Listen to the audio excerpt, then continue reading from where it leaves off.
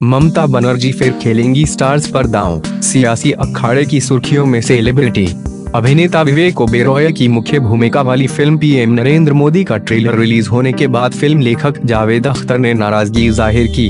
मोदी की बायोपिक कही जा रही इस फ़िल्म के क्रेडिट्स में नाम देखकर चौंके जावेद ने ट्विटर पर लिखा कि वे फ़िल्म के पोस्टर में अपना नाम देखकर हैरान हैं क्योंकि उन्होंने इस फ़िल्म के लिए कोई गाना नहीं लिखा और फिर भी उनका नाम इसमें है उत्तर प्रदेश की मथुरा लोकसभा सीट पर सुपरहिट दंगल की तैयारी हो रही है सूत्रों के हवाले से आई खबरों के मुताबिक हरियाणवी डांसर सपना चौधरी कांग्रेस के टिकट पर चुनाव लड़ सकती हैं। कहा जा रहा है, टिकट के लिए सपना चौधरी कांग्रेस के शीर्ष नेताओं के संपर्क में हैं।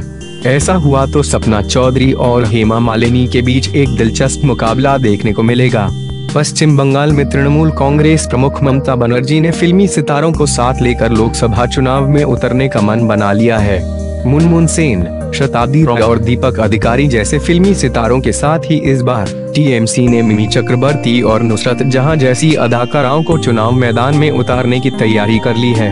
खबरों के मुताबिक मिमी जादवपुर, नुसरत बशीर हाट शताब्दी वीरभूम मुनमुना संसोल और दीपक घाटल लोकसभा सीट से किस्मत आजमाने वाले हैं। दक्षिण भारतीय और हिंदी फ़िल्मों में अपने अभिनय क्षमता का लोहा मनवा चुके प्रकाश राज ने बेंगलुरु सेंट्रल लोकसभा क्षेत्र से निर्दलीय उम्मीदवार के तौर पर नामांकन दाखिल किया। आगामी लोकसभा चुनावों के लिए नामांकन दाखिल करने के बाद राज ने कहा कि भाजपा और कांग्रेस जैसी राष्ट्रीय पार्टियों को लोगों ने नाकाम करार दे दिया है। इस सीट पर भाजपा के उम्मीदवार पीसी मोहन माने हैं, जबकि कांग्रेस प्रत्याशी की घोषणा नहीं हुई है। आम आदमी पार्टी ने राज को अपना समर्थन देने की घोषणा भी की। फिल्मी सेलिब्रिटीज के साथ ही क्रिकेट के सितारे भी लोकसभा चुनावों के माहौल में खबरों में रहे। हाल में क्रिकेट से संन्यास की घोषणा करने वाले गौतम गंभीर ने शुक्रवार को औपचारिक रूप से भाजपा ज्वाइन कर ली। खबरें हैं कि दिल्ली की किसी लोकसभा सीट से भाजपा गंभीर को प्रत्याशी बना सकती है। भाजपा में गंभीर की अगवानी केंद्रीय मंत्री अरुण जेटली और रविशंकर प्रसाद की मौजूदगी में हुए एक कार्यक्रम में हुई। पिछले दिनों हुई घोषणा के मुताबिक पश्चिम बंगाल की आसनसोल सीट पर भी सेलिब्रिटीज के बीच रोचक मुकाबला होने के पूरे आसार बन चुके हैं।